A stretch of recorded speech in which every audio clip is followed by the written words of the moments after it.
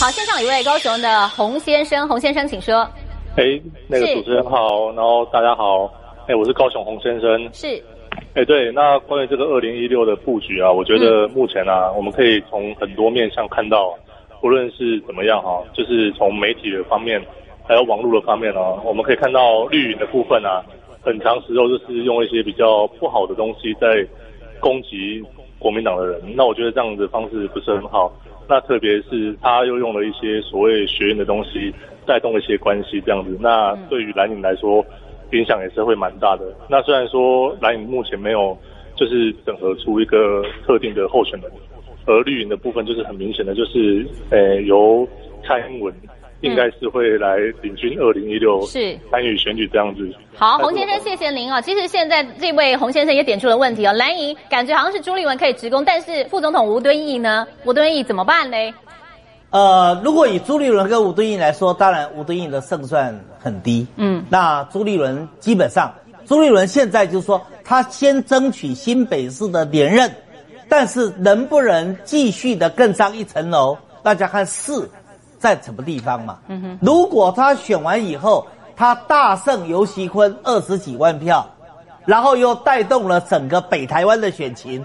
好，他原来要浮选陶竹苗，那现在如果连北北基都带动了，选的甚至有很多地方逆袭成功，那当然朱立伦声势大涨啊，他当然成为所谓的救世主啊。那时候他即使不想选二零一六，所有的那个逼着他选二零一六啊，谁都挡不住。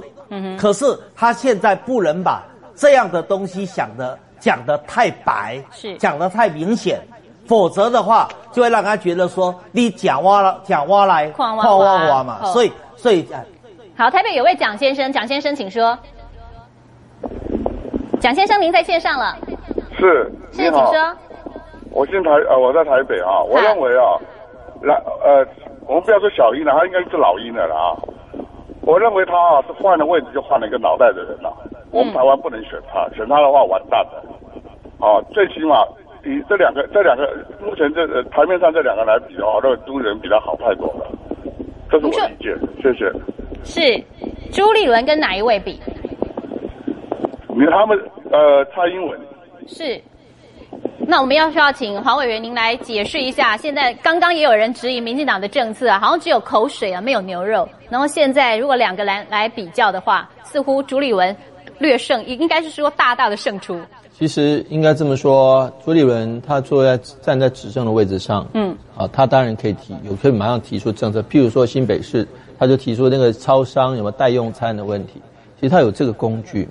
那小英过去我刚刚讲说，从过去到现在，从民党落下野之后，两千零八年到现在，他除了两年呃，就担任过两年多的呃四年的这个党主席，后来他是他是空他是放空的，没有的。所以我觉得他他的民调是是有持有有持续下来。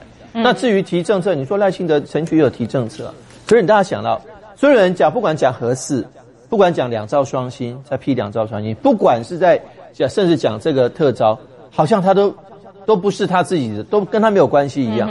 可是他不要忘了，不管吴敦义他也当过行政院长，朱立伦当过行政院副院长，虽然是一段时间了，大概六七个月、七八个月，可是也参与国家机要的事情，除非吴敦义不让他参与。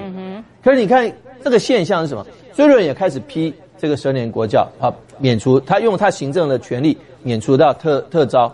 吴吴敦义在这之前他讲什么？讲说中中游哈，不是应该能无半给赛我。好，我们先休息一下，待会儿持续关注。